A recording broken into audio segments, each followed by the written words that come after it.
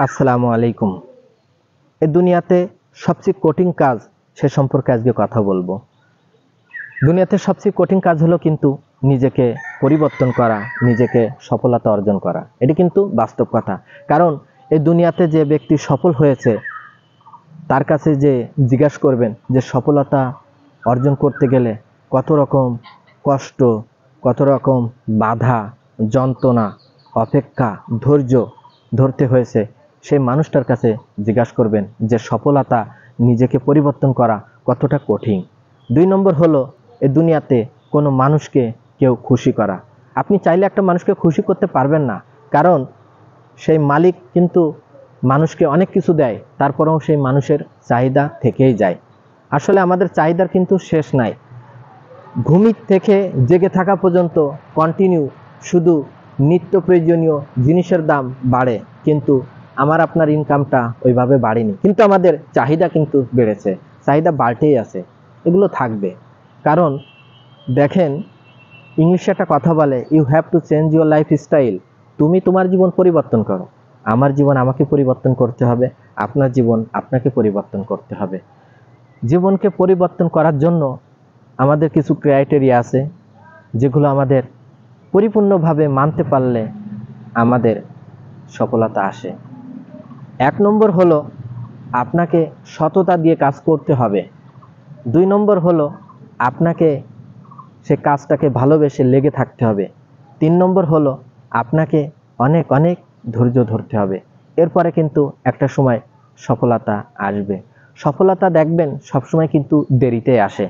কারণ সফলতার আগে কিন্তু অনেক কষ্ট, অনেক যন্ত্রণা, অনেক বাধা, অনেক ধৈর্য এগুলো আসে, আসবে, থাকবে।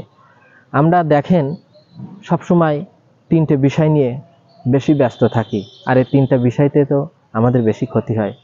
পরের বিপদ করি, পরের সমালোচনা করি, পরের দোষ ধরি।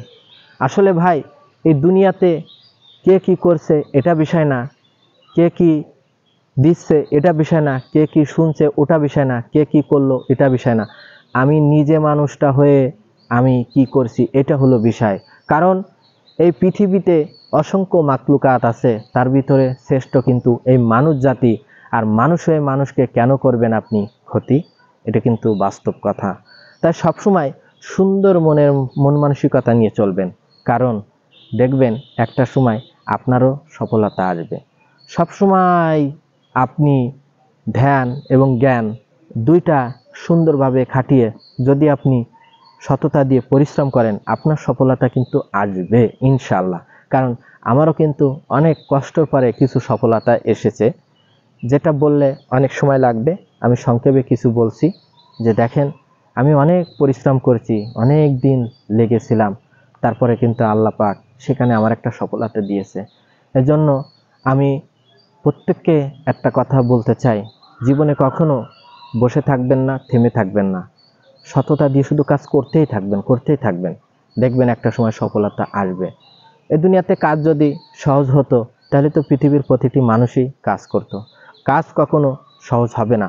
কাজকে কাজ করে সহজ করে নিতে হবে। তাহলে আজকে আমরা কি শিখলাম? এই পৃথিবীতে কঠিন কাজ দুইটা। এক নম্বর হলো নিজেকে পরিবর্তন করা, সফলতা অর্জন করা। দুই নম্বর হলো এই দুনিয়াতে কাউকে খুশি করা। আপনি অনেক দিবেন, কিন্তু তারপরেও সে যেন খুশি হয় না, তার চাহিদা থেকে যায়। আপনি একটা মানুষকে একশো দিনের ভিতরে নিরানব্বই দিন উপকার করবেন, মনে রাখবেন না। কিন্তু একটা দিন উপকার করতে পারবেন না, ওই একটা দিনই মনে রাখবে। এটি কিন্তু বাস্তব কথা।